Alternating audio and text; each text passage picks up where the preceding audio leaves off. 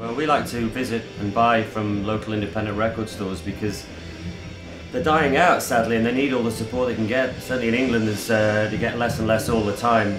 Um, I grew up in Liverpool. There was a great record shop there called Probe Records, which helped every band that was formed in Liverpool in the late 70s, help them get their records out. We now live in Birmingham. There's a great uh, independent shop near us called Polar Bear, which we buy from. And uh, yeah, the money we, what money we have should go to those shops rather than just being washed down the drain at the HMVs of this world. But I like going because they smell great and it's a really good place to pick up guys. That's why you like to go on your own, is it? Yeah, always. See.